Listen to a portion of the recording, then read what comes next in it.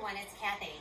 I'm going to take you through a quick foam rolling sequence focusing on the front of our quads, um, a little bit of the IT band, and a little bit of the hamstrings.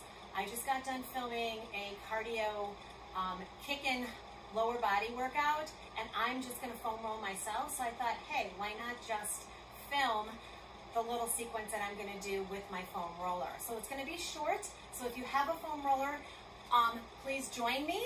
Um, do not mind how I look because I am dripping, but that's okay. All right, so we're gonna first take our foam roller. We're just gonna place it at the base of our knees. We're just gonna hinge our body over it. We're gonna walk ourselves forward. We're just gonna bend those knees up and we're just gonna simply roll. All right, so forward back. So I like to really stretch out from my torso here to kind of like get like a saw position here where I'm sawing backwards and sawing up putting a lot of pressure on my quads as I roll in. So I can feel little mini knots in my legs, little lumpy dumpies. All right, so we want to really kind of work through that in a slow and controlled way. Breathing, nice and easy, good work. Slow, feel what's going on. I want you to do a couple of really slow rolls back. So take it really slow. Now lean onto your left side as you do that. Good, now come forward. Now lean onto your right side as you do that. Good, so pay attention to the differences. All right, so now we're gonna roll predominantly onto our left side. Now we're not going completely on the side, so I'm just gonna put a little more focus on my left quad here. I'm gonna manipulate with my other foot and my arms. And I'm just gonna roll from the top of my knee all the way up maybe toward my hip bone.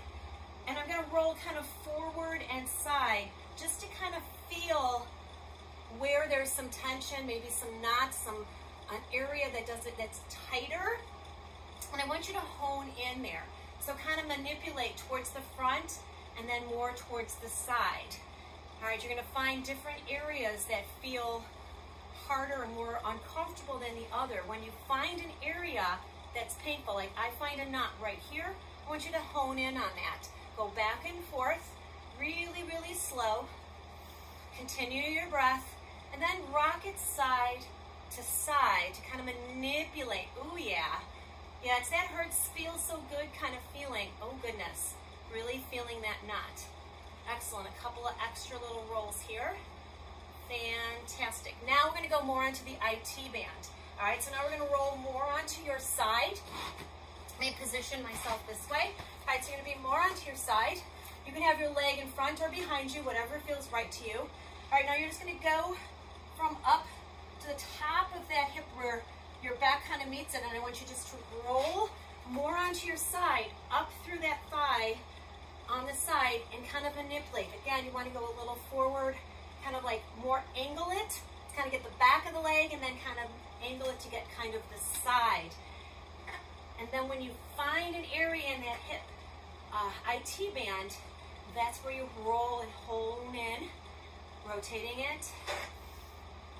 Good. I'm not as tight on this side as I am the other side.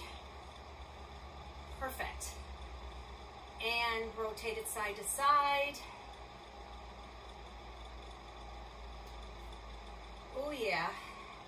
Nice. All right, now we're just going to switch sides and we're going to focus on the other front of the quad and then to that IT band. All right, so on kind of that meaty portion, manipulated here. You can bring that leg in front.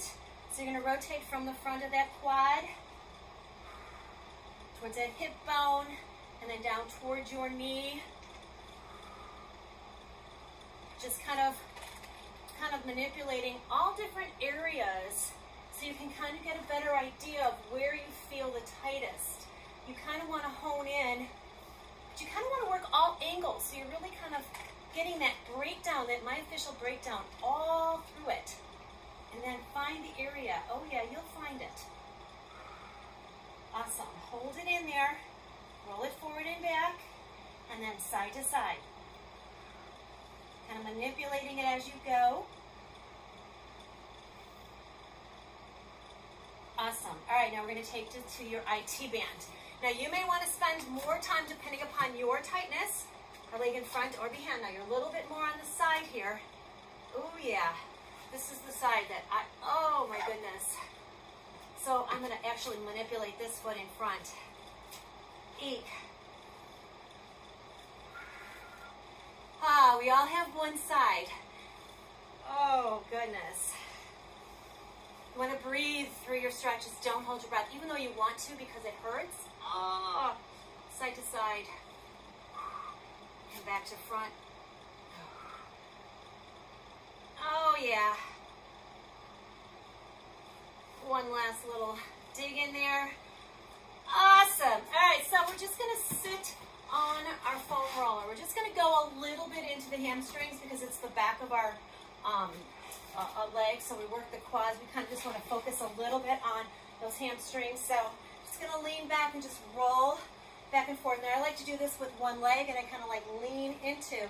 So I've got my right leg is manipulating, my left leg is kind of putting a little more pressure. Again, kind of honing in and rolling back and forth, different areas of that hamstring.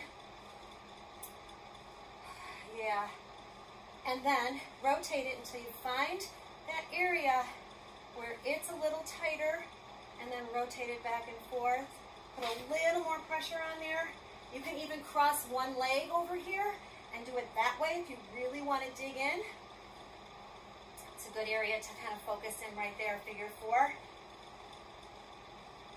And let's do the other leg. Just gonna simply roll back and forth, turning the leg in different angles to kind of feel where the lumps and bumps are. And then I'm going to add that little intensity and hone in. It's a little uncomfortableness, awkwardness with your arms sometimes. So you kind of kind of find them, play around with it. It feels good. Oh.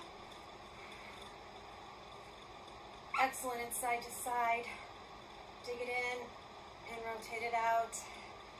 And just come off that foam roller. I like to just take my foam roller out in front of me and I like to bring it up overhead. I like to grab a nice big inhale up.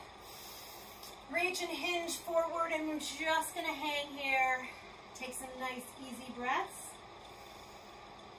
Bring it up one last time. And that will do it for our legs. All right, we'll add on to this at some point and we'll focus on some other body parts. But after that kicking cardio, it's kind of nice to work those legs.